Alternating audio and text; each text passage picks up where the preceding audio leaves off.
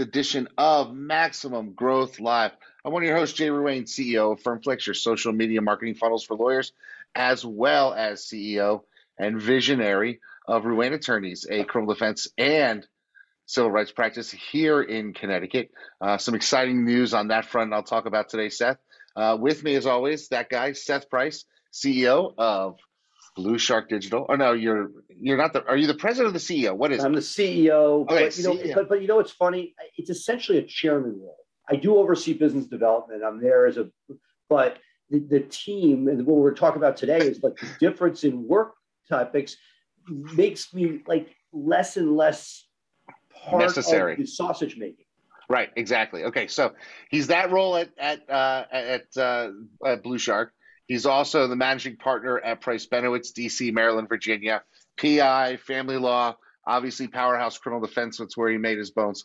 My man, Seth Price. Seth, uh, you we usually start. Uh, you had your anniversary this weekend, this past weekend. You were in the city. I was in the city. We were probably within at, at points. We were probably within 150 or 200 feet from each other, and yet we didn't meet up. So, how you been this week? It was great. Like I got to say, uh, escaping with the wife without kids, cashing some star old Starwood points, I guess Marriott points now. Live large, you know, in a way that like you and I, like as the as the frugal entrepreneur, points for the hotel. Um, we sat in the second row for Patti LuPone and uh, company, where we're like all the way on the side, but the cheapest seat in the house. So we're like, Yeah. you know, like 12 feet from stardom. Uh, it, wa- it was awesome. So we had some great meals, some great friends. Uh, you know, there's something just, again, New York is a drug. I miss it. I grew up there. It's not the same place I was, but what I love about getting out is that it allows you to flex muscles. One of the things, you know, we have a lot of entrepreneurs on this listening to this. And the thing that kills me about New York City is the expense and obstacles to doing anything. Now, you, the prize is you get to live in New York. Um, Right. But, you know, just to give you an idea, Sarabeth's for brunch, three pieces of challah French toast in an order, a la carte, nothing else. What's the over under? What do you think? 20. I'm going to say 29 dollars. Yeah, exactly. So to me, no, no, but no, no, but you're you're doing that too because you're sort of like you're giving me the real number. Like I the mean- rest of the world, French toast, the over under is fourteen dollars. You know, not, casual twelve, not casual sixteen. Whipped cream was extra. You know, it, anyway. So I, I so it's funny. I was yeah, I- just funny about that. I actually remember going to the King Cole Bar there at the uh, St. Regis uh, to meet up with a, a woman I was I had met. We were going to go on a date, and uh, I was like, oh, you know, that's just easy for me to shoot into the city because I, you know, I live in Connecticut, but I can come in on the east side. And uh, I, I remember saying, you know, I was asking another friend, you think that's going to be completely like that's fine, but it's going to be a twenty-seven dollar glass of white wine, and I was like. Yeah, well, I guess it is, and Yeah, uh, shooting into the city for an hour and a half to meet her, you might as well make it. A, I mean, that I didn't realize how much has transpired at that King Cole bar. The actual Bloody Mary was created. Yep. Used to be the red snapper. That, no, that's, that's, people, that's- that's a Still- Trivial it Pursuit still question. is there, but the idea, just branding, right? Red Snapper wouldn't have done it, but Bloody Mary, it's a part of the American vernacular. You know, it's funny. I was um, I- I was in the city. We went to go see uh, the Music Man with Hugh Jackman and Sutton Foster, and it was awesome. Um, but when I pulled in, you know, we came in on Sunday marathon. It was the half marathon, Half I the half guess. We, we literally leaving to get to our friends on the west side, going to Hudson Yards. We took a cab for three blocks. It stopped. We got out, walked from fifth to eighth with our luggage, and they got another cab from eighth to eleventh. Yeah, so we're we're coming in. We're we're jammed up in traffic. I pop out and talk to one of the cops there and was like, "Look, yo, I just got to get to this garage because I was just trying to get over one more block so I can get close enough to the restaurant and the theater." Uh, so we get into the garage. I pull in, and th- you know, there's a ton of guys there coming in and coming out. And I see my man, the the parking attendant. I, so I whip out a twenty. I'm like, "Yo, I need a VIP spot." Uh, and he goes, "I got this run right in front, right on the street. It's yours." So I was in, and when I when we left, my father and uh, brother had parked in the same garage.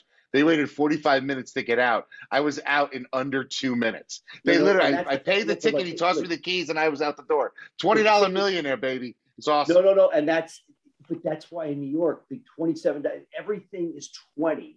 Like the tip, look, uh, literally, I, we're digressing way too much. I was in, a, I was taken in the middle of Central Park. A guy comes running after me, point, we need you in the show. So now I'm in the middle of 500 people watching the show. The show was more of a shakedown. It was a uh, an acrobatic show, but they basically go around getting money from everybody before they do their final act. I'm standing in the middle like a, a stooge with 12 other guys, all you know, like well dressed white guys were sitting there in a row. This is African American guys doing it. They go around getting $20 bills from everyone on the outside and then go down the row. And you're basically, if you don't give them 20 bucks, they're going to like humiliate you. My wife decides that she, they're going to literally put you on the back of the jump so that you have the most chance of getting hit. uh, and, and like literally, what was two three dollars for street performers it is now a $20 pass to watch if done well, by these well, that, that brings me to our topic for today, and and you know it's it's kind of interesting having been you know growing up in New York City in the '90s, right? New York City in the late '80s, early to mid '90s. I was running around back then. You were running around back then, not in the same circles, um, but but we were both sort of running around. And there was a certain way things happened in New York, and you sort of you ran with it and, and that type of thing. Now like you said, it, it's it's a little it's a lot different, right? And that translates a little to how just people communicate. Because in my office, and I'm sure in yours at Price Benowitz, although Blue Shark might be a little different, so that'll be a conversation. In my office, we um, we've got my father, who is as old school lawyer as they come, refuses to show up in the office without wearing a full suit. That's just who he is, right? Um, and then we have younger lawyers who, uh, you know, baggy jeans and, and tank tops are cool with them as they're getting their work done. They're not going on camera or going to uh, anything. That's how they're going to dress. And it, and it's interesting. Um, when we had our retreat 10 days ago, we talked a, a, little bit about problems with technology. And one of the problems was um, my father was upset that people were not buzzing him at his desk when he got a phone call. And the response from the reception team is, How do we know you're at your desk? And his response was, Well, because it's a work day. I'm always at my desk. And they're like, Well, we don't know that. And we've got 29 other people here that are all over the place. We never know where they are. So we slack them and that's it. Well, before, uh, before his son took over, there, it was him and a person. They knew where he was. You messed up his right. whole deal. I messed up his whole deal. But but, but let's talk a little bit about the differences in how generations communicate can really impact your law firm, especially as you scale. If you have people that are older and you're hiring younger people, uh, or you're bringing somebody in, how has that impacted your firm?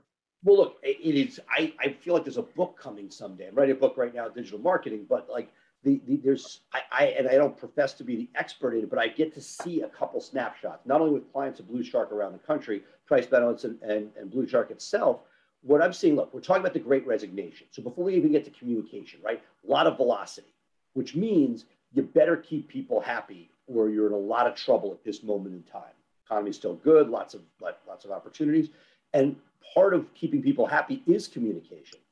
And law firms in general, when I look at groups that do a really good job espousing culture, you know, Chris does it seminars on it. Um, within Blue Shark, we took an EOS test. We don't use EOS uh, currently at Blue Shark. We got an 83, 84. That's like 20 points higher than law firms aspire to get to. I mean, crazy stuff. But again, it is a homogenous, not including me as an outsider group that is very, very good at understanding cultural touch points and making these things work. Um, on the flip side of this, is a law firm with all the legacy problems, right? You got your dad's style of communicating, you have yours, you have young associates.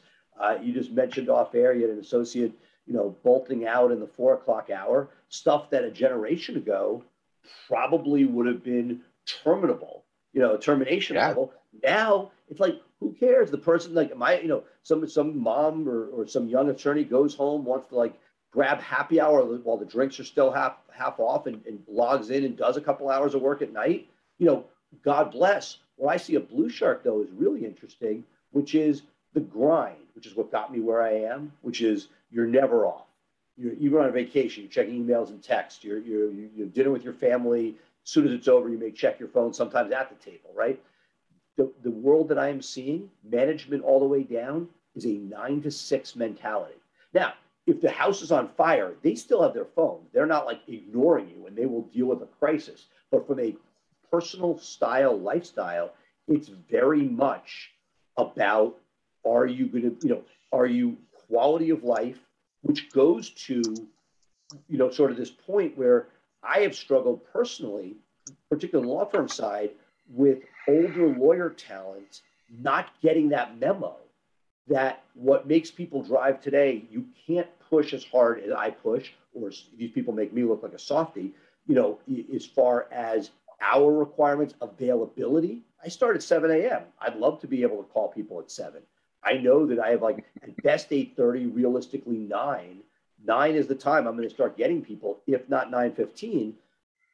If there's a real reason, I'll push it, but I'm not so for people that never got this memo, it's becoming a real cultural, you know, piece. For your dad, who cares? He's at the meeting, tells people he wants us. But when I have people that are direct subordinates to people, and I track where turnover happens, it happens because somebody else is not getting the memo and saying, "Hey, this is the the lawyers under 35 aren't playing." The way that we saw people as they were on partner track attempt. And frankly, the partner track doesn't exist anymore. We go to big law right? Used to be right. eight years up and out. You did eight years. You became an equity partner with no book of business.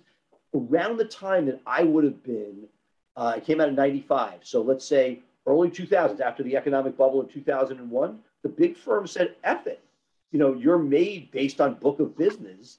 And that trickled down to everybody, which means that without that carrot, that you're going to be given a golden handcuff you can't live without that sets you up for life as an equity partner you know everything we do is about keeping people engaged happy and employed. And if the if part of your senior management lawyering doesn't have that in hand it can be pretty detrimental. It's something i'm sort of struggling with right now. Yeah you know it's interesting. You know one of the things that we are pushing in our recruiting um, is sort of that work life balance, work life integration. You can work from home, you can work from the office, it can be a hybrid. Just get your work done. Obviously, if your work requires you to be in court, you can't say, I'm not working mornings if that's when the court is, because not everybody is progressive as we are. But certainly, you can uh, uh, avail yourself of those opportunities. And and it is, uh, you know, I I don't want it to, but it does sort of irk me when I see all my associates leaving and I'm still the last one here. But I got to remember I'm the entrepreneur. This is this is my thing and and it's in my blood to work till midnight. My my marketing team is constantly joking on, at their weekly meeting about, well, how many slacks did you get from Jay after midnight? And they're and it's like it's like a bet. They they see who got the most for the week. Um, because I don't expect response. I told them straight up, look, I'm going to slack you my ideas when I have them. Uh, and and you got to just understand that yeah. I do not expect a response at three thirty yeah, in the morning. I, I, just had it with a service provider, one of the uh, homework consultant therapy type guys for one of my kids. You know, he, we have a package where it's it's a flat rate for the kid to text. We send him a text to update him on something, and he goes bills me an hour and a half on it. I'm like, what the hell? This is the, I'm just dumping information. You know, so it's it also is what is immediate. But if you're crazy like us, and I think that's what the millennials and the Gen Zers are saying is, yeah, we don't want that. You know, you're dumping the stuff, but like I've now moved to dumping to email because it's not immediate there, and not doing stuff like Slack and and uh, and texting because even though to me it's like yeah, wait till the next day, they see it and it interrupts their zen, and I don't like again it, it's it's changing. I can see it. You don't like you know like fuck. I, I want to be able to send a Slack because that's the mode that I'm on. But if there's a cost where it's where people are, if, if it if it if somebody if it's turning people off. Yes, and so look, it's a problem it's great for to your, say work-life balance in your opening. It's great to say unlimited vacation, but if you can't take vacation and you want the person to be always on, that like what you and I think of work-life balance may not be what they think. Well, you know, it's funny. I, Just talking about this, I'll pivot just a little bit. I was in a, you know, one of the forums online, one of the Facebook groups, and somebody had said, "Do you ever feel bad about what you're paying your remote workers?" um, because you're you're not paying them the equivalent of what they would make here. And the response was, you know, I've talked to my remote workers about it and they're happy with their wage. I'm happy. I, I do give them bonuses, that type of thing. And what you have to realize is that everyone really is in a different position than you are, especially when you're growing your firm. When you're growing your firm, I mean, my foot is on the gas to the floor all day, every day. I do not take my foot off the gas. But even the people that are most committed to me in doing this, they're driving their own car. They're just driving it alongside of mine. And they might want to stop and smell the fucking flowers. you know? So what, Let me get. So this week at, at, at Blue Shark, something not client facing, but an internal issue.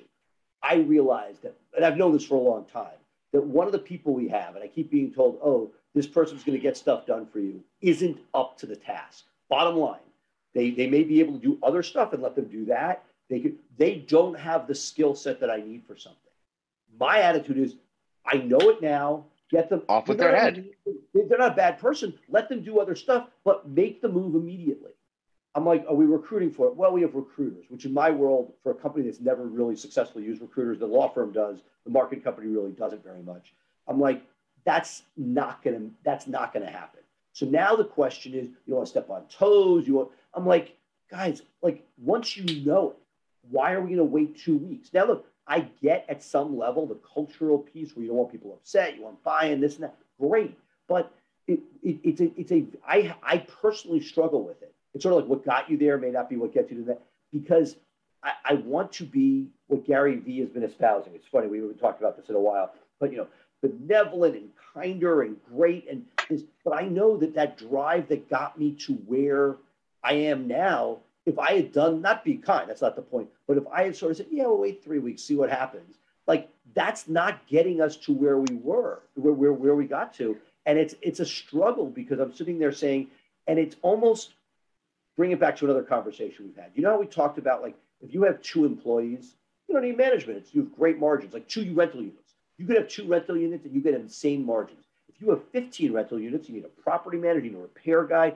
It's a whole, and your cost structure changes, decisions being made by them. The person placing the tenant isn't you. They're not noticing, hey, that guy's a heroin addict going to destroy my house. There are all these different pieces. And I kind of feel like it's almost similar. If you want to have something that's smaller, you could have foot to the pedal.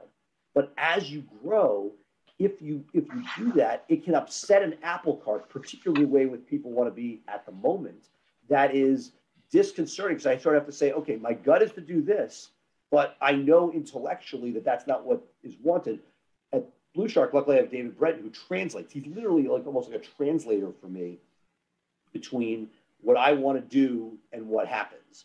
And I and, and our chief operating person is now at this point literally a filter, almost like a coffee filter where I can dump the stuff in unfiltered, literally, say this person's a dumb fuck. Why can't they do this? Please do that. And it comes out the other side as culturally appropriate, not culture, but like culture appropriate communication that doesn't upset the apple cart. Well, yeah, because you don't want you don't want to you know step in to a company that's otherwise running well and do something that's going to cause resentment or people to be suspicious, people to start you know polishing up their resume, like like you know, no, especially now. Historically, like, so. like I push really hard somebody would get offended. I'd walk with them to Starbucks. I'd smooth it over. We'd go back to work. Literally, that was my playbook for a long time. Not proud of it. I'm just saying it was push as hard as we needed to to get ourselves. Look, we scaled to 40 freaking lawyers without a multi generational firm. It, it doesn't come without a push. You don't right. push. You'd sit, I'd be sitting there with Dave in his in his basement.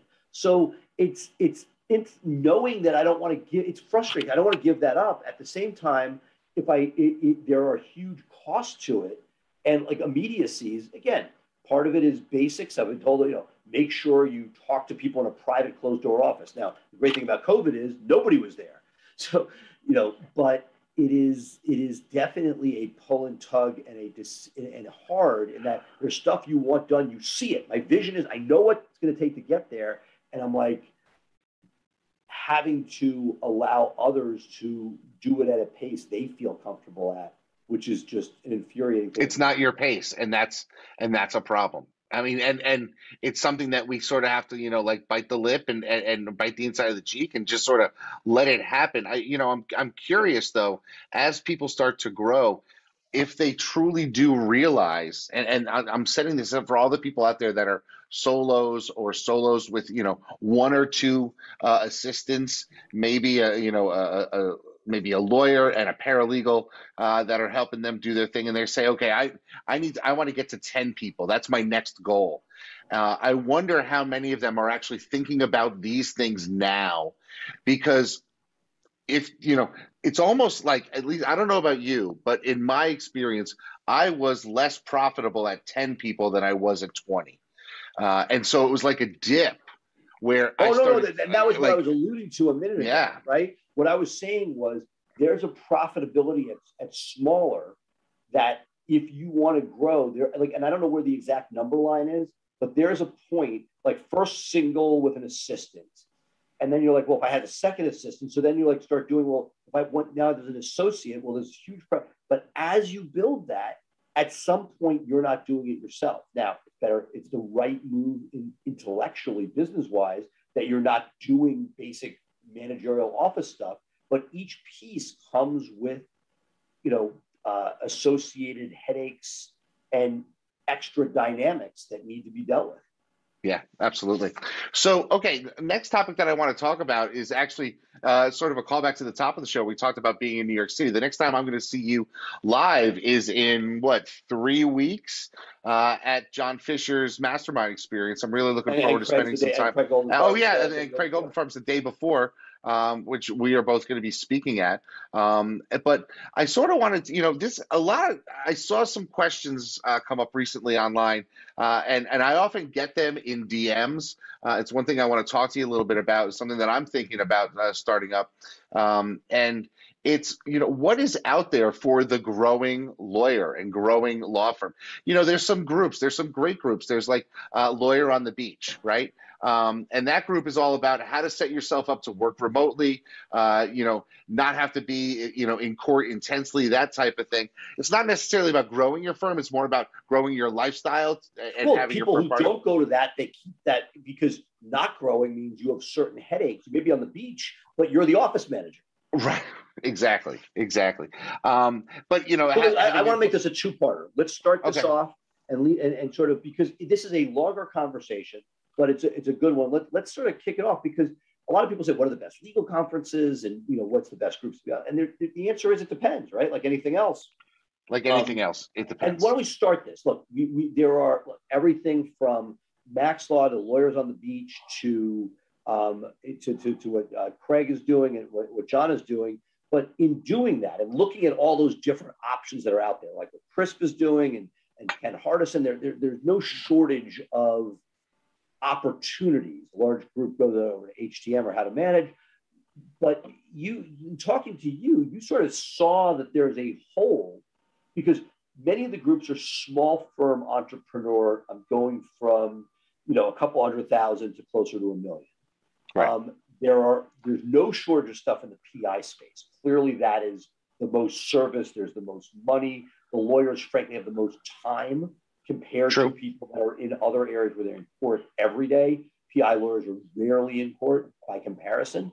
Um, and that, um, you know, you, you sort of been uh, beta testing something dealing with the verticals. Because look, the way you and I met originally was through a oh, yeah. marketing group. Exactly. And while the college and the uh, NC, uh, the and DUIDLA are still are still there, there's really not many resources, particularly in the criminal vertical out there. And I, am just curious to see what you're up to. I see little, you know, snippets of it online. What, what, what's going on? So that's one of the things, you know, my my heart is with the criminal defense lawyer, the the the, the men and women that are like my father, who just really, you know, they have a practice that they love. Uh, and haven't really been able to do some, you know, make the kind of money they want with the practice that they love. Because right. you know, let's face facts. I mean, criminal law. I'll, I'll make a statement for most criminal lawyers out there. Um, we get paid on half of our cases. We would work our cases for free most of the time. Most criminal lawyers um, you know, never get paid for their trials, but they'll do it because and and they'll and they'll well, that, that that's all that that that there is. At first, I was like, "What are you talking about?" But no, that is the crux of it, right? Let's yeah. assume they paid on cases. That to me, intellectually, as a business person, is one of the greatest dilemmas. You need the trials because a sometimes you have to. B yep. if you don't do them, you don't get the plea deals. But economically, particularly as you move out of the misdemeanor world and the felony world, almost nobody can uh, afford the afford a trial. And then you almost do an insurance plan where everybody gets charged a little bit in case they go to trial, which hurts you when they when you go to like quantum meruit or earn money. But that is one of those sort of like dirty secrets that like if you really charge people for the hours on a criminal case for something that pleads versus in the one out of 20 that go through a full trial, those full trials, but let's take a homicide for nobody can really afford a full homicide trial short of a somebody liquid with millions of dollars. Yeah, I mean, I, I think back to um, like the last private pay monster murder case here in Connecticut was the Skakel case, uh, and they had the they had the money, right? Uh, they had the money to go around. Oh, and, two and, things. And, the, the, irony. Look, Mickey Sherman, uh, great guy and father of, of, a good friend of both of ours. But if that's the last one that paid full freight, the irony is that, like, even like according to what we've read, it was not a great situation either. So right. it, just, it just, I mean, it shows you that there aren't like if that was the one, then it, it's a crazy nonsensical world that people do homicides either for the experience or because they love them. Oh, they love they're it. not making a living doing. It. They're not exactly. And so, what I wanted to do was I wanted to put together sort of a uh, a, a, monthly mastermind around the principles of running a profitable criminal business because I know I've been able to do it. I know you've been able to do it, uh, and so that's what I'm looking to do is just sort of help these lawyers that are out there, you know, with a few tweaks. Um, you know, Chuck in Indianapolis is going to be able to identify his market, go after it, be satisfied that he's making money and what and, and, honestly do what I did. I, I was I used to tithe money away. So I would take a percentage of every fee uh, that came in and put it into my trial uh, trial fund uh, so that when a client needed a trial, I could do it and I could afford to do it for nothing because I had this this fund where if I wasn't going to be able to sign up any new cases for two weeks because I was going to lose the you know that that instant sale opportunity of me being able to call people in the afternoon because I was down deep into a trial, um, right. I was going to have a buffer to be able to do it, and that's how I got my 37 trials. I would not have that now. I mean, it it was been a struggle the last couple of years to even get those trials, and I I can't imagine some of uh, some of these younger criminal defense lawyers struggling to get trials, especially coming out of COVID. Um, that you know, when the bigger things happen years down the line, uh, it's going to be troubling because they're not necessarily going to have the experience that they need to be able to command and quote those bigger fees, which is necessary if you're going to do it. I mean, if you're putting in the work, you should get uh, you should get your your money for it. So I'm I'm going to be launching um, probably in the next couple of days a uh, a criminal law specific uh, annual mastermind program. It's a, I created a 12 month sort of course that we're going to take people through. I'm going to invite just criminal defense lawyers, nobody else, my people. Um, and it's going to be just a way for people to sort of um, follow my well, the, the, truth is, you, you had a mastermind online. And what I've seen, because I've been part of a number, is that unless you charge something for it, it likely doesn't happen. Like you had one. I was I showed up a few times, but it, it doesn't. So it sucks. As somebody who's like frugal, I'm like, why can't I go to free stuff? But unless there's some sort of a buy-in, and I we'll talk more about the models of these different ones. But I want to leave you with this because this is what I would love to see unpacked, which is when pricing things, right? Assuming you're not doing stuff as a criminal defense lawyer by the hour, which is clearly the easiest way to do it, but that you end up into people not paying you on the trial. That this, I'll give you what, what I remember. I'll give you old numbers. But in the old days, um, guys in my office wanted to charge $3,500 for a DUI in DC. And it, they were trying to figure out, hey, I'll charge $2,000 if it goes to trial, or four and six for a higher, higher end guy. And the problem was other guys were saying, well, I'll include the trial. And we're, they, we're, they're basically saying, you're charging 6000 I'll charge something in the fours and what I came up with was okay, instead of charging four and six, charge 4,500. You need something. because you don't want it to be mm-hmm. there's no charge to go to trial because if you charge nothing, you well, I'll just roll the dice and it's a lot of your time. I'm not right. talking about a lot, but something almost like a copay. Like somebody you charge something for your insurance. You know why? I remember the big firms telling me because if their spouse has it and they don't really need your insurance, but I might as well have it. You want something so that it's not just a throwaway. Just like we're talking right. about mastermind value them. But what is the optimum level of charging for the trial, but not knowing, let's say I'm making this number up, but assuming the trials are one out of 20 on a DUI where it actually goes to trial, are you better off, as you almost did, having that fund where it could be three, four, five, six hundred dollars extra beyond what you think your pre-lit case is, your, your, and that you're essentially getting that buy-in each time so that you can afford to do it. Because if you really charged for the time of that trial at let's say $500 an hour, you'd be at you know $20,000 and nobody's going to pay you that on the DUI. Right. And so I'd love to think about this these sort of you know, so uh, my situation for years was I would get the you know someone would say okay I, I have the 10,000 or 15,000 to pay you for the DUI trial right? And and I'd love to do it, and then like, but I don't have any money for the experts, and so then I'd lose seventy five hundred of it going to the experts. No, no, and so hundred percent, and to the point where when we saw a juvenile case in DC, no, our, our friends and mentors, the guys who taught us in law school, were running that department, the public defender. I'm like, if you have seventy five hundred, go, and, and they would get you that. Go spend it on extra experts. Don't spend it on us. Um, yeah. And you would see that because if you don't if you can't do the experts it's not to we're not going to be able to get you that same result. Yeah, I mean, for especially in the DUI stuff, you if you if you have a, a, test number, you need an expert to sort of explain why that test isn't accurate because so many people just hang their hat on that uh, on that number. I mean, the way I solved it a lot of times, to be honest with you, was I actually instead of being you know four thousand and four thousand for the pre-trial and the trial, I would break it up. I'd go three thousand or thirty five hundred, and then I'd actually charge a trial prep fee. Uh, because so many of my cases would get on the trial list and then resolve at the last minute. No, you know, that's genius. I love that. Yeah. So I would charge I would charge like fifty five hundred or six thousand for trial prep right. and then three grand for the trial and, and tell people I love doing the trials, so I'm not going to charge you a lot for that. But I spend my time prepping the case. I make my money on that, and then if it folds at the last minute, I don't have to give back all the all the majority of the fee because I've earned it by prepping the case for trial.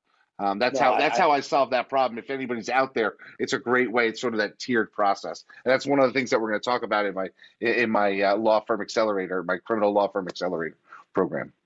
I love it. Um, yeah. We got we got lots and lots of good stuff here. Uh, can't wait to, to, dive into this next week. Yeah, I'm I'm I'm looking forward to it. This I'll uh, I'll, I'll, let you guys know uh, as we start to as we start to ramp it up because I I think I'm going to keep it very small. Um, and it's going to be you know invite only, sort of just the people who uh, I know I can help, criminal law criminal lawyers. Um, I, I, don't need to be everything to everybody. Um, and uh, of course, I'll still participate online. Anybody has any questions, they can always DM me. Uh, I like doing, I like helping people out as much as I possibly can. Uh, but that's going to do it for us today here, Seth.